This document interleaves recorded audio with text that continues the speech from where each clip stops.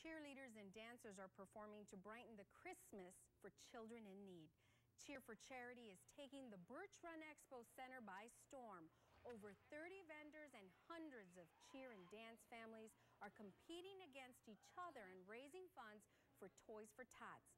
Teams from across mid-Michigan are donating $5 or a toy to compete or watch the competition.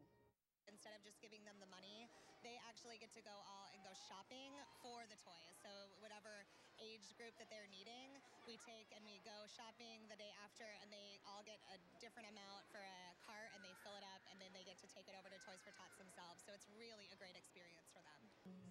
This is the 10th year of Cheer for Charity. The event hopes to bring in around $5,000 this year.